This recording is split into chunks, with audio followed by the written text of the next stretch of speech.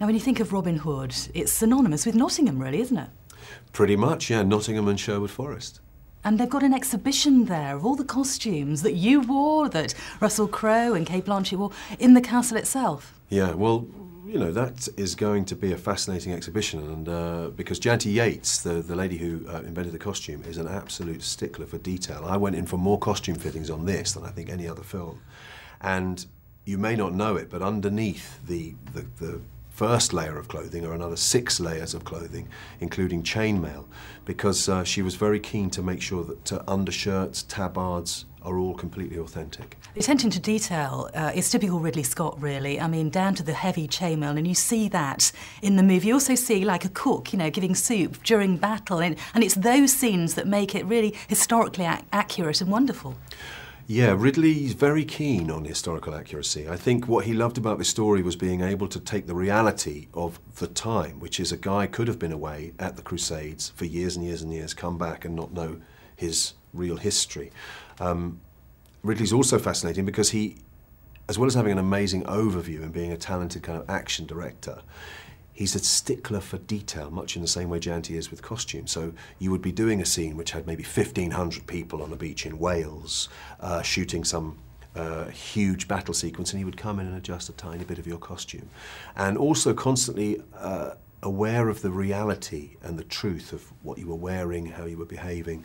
And that, as an actor, is exactly what you want from a director. Let's talk about those battle scenes, because you loved it, really, didn't you, getting involved in all of that? Yeah, it's amazing. I mean, uh, uh, people pay good money, don't they, to recreate that kind of thing. And knowing that you were on a horse that had an original saddle, knowing that you were using a sword that was made in exactly the same way as the swords would have been, that the costume is completely authentic.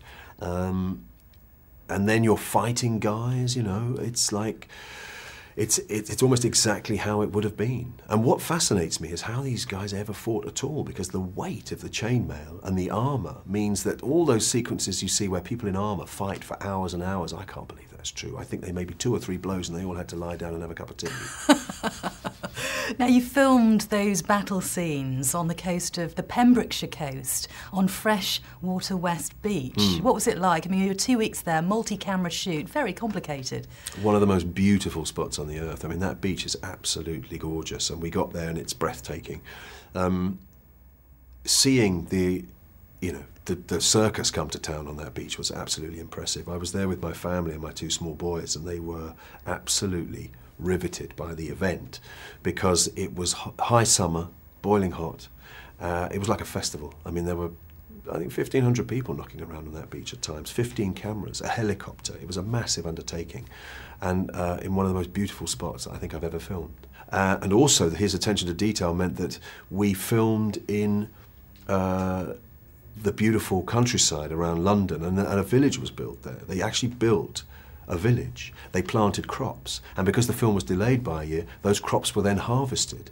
It was as if we really had something very authentic in the middle of the English countryside. The minute detail of the building of these villages, mm. the building, you know, Nottingham, not in Nottingham, but in, in, on the Surrey countryside, was, was awesome from Thatcher's to the, the accuracy was, was tremendous. Yeah, the chap who owned the land allowed them to build a village and again, Ridley's attention to detail meant that all the huts, uh, the layout of the village, the crops, the way those crops were harvested were all done in an authentic style, as much as we know about that period. Um, so working within that as an actor means that you you don't really have to create it in your imagination because it's all there for you. You love playing the villain, don't you? Yeah, the villain is uh, is very interesting. I mean, because the challenge is to find out how to make them accessible.